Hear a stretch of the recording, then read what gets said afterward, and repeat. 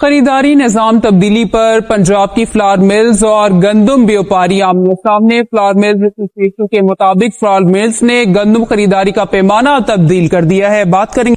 लाहौर में पंजाब बल्कि फ्लावर मिल मालिकाओं का इजलास हुआ, जिसमें ये फैसला किया गया है कि 10 जून से पंजाब की जो फ्लोर मिल्स हैं, वो गंदम व्यापारियों से जो खरीदारी करेंगी, वो फ़ी मन की बजाय 102 किलो के तनासब से करेंगी इस फैसले के बाद गंदम व्यापारियों ने इसे मुस्तरद करते हुए कहा है कि अगर फ्लोर मिल्स ने यह निज़ाम जबरी तौर पर लागू करने की कोशिश की तो हम जो है फ्लोर मिल्स को सप्लाई रोक देंगे। दूसरी जानब मार्केट के जो आटा डीलर्स हैं, उनके मुताबिक अगर फ्लोर मिल्स का ये नया निज़ाम आया तो आटे की कीमत भी इसी तनासब से मुकर होगी, जिससे खदशा है कि आटे की कीमत भी जो है इजाफा होगा।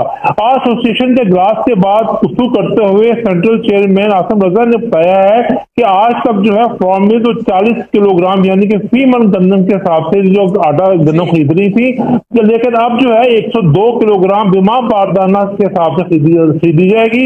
जबकि जो अंजम आठ किया है उन्होंने मुस्तरद करते हुए कहा है कि हम पंजाब भर में फॉर्म को गंदम की सप्लाई मुअल कर देंगे।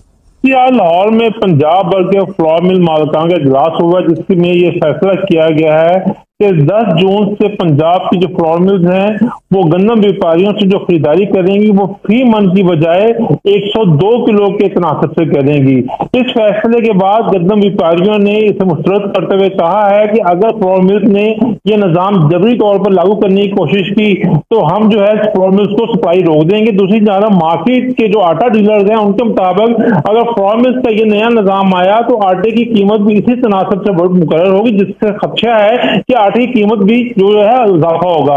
एसोसिएशन के इजलास के बाद गुफ्तु करते हुए सेंट्रल चेयरमैन आसम रजा ने बताया है कि आज तक जो है फॉर्म में तो 40 किलोग्राम यानी कि फ़ी मन गंदम के हिसाब से जो आटा गंदम खरीद रही थी तो लेकिन अब जो है 102 किलोग्राम बीमा बारदाना के हिसाब से खरीदी जाएगी। जबकि जो अंजम ने आठ किया है उन्होंने मुस्तरद करते हुए कहा है कि हम पंजाब भर में फॉर्म को गंदम की सप्लाई मुअल कर देंगे।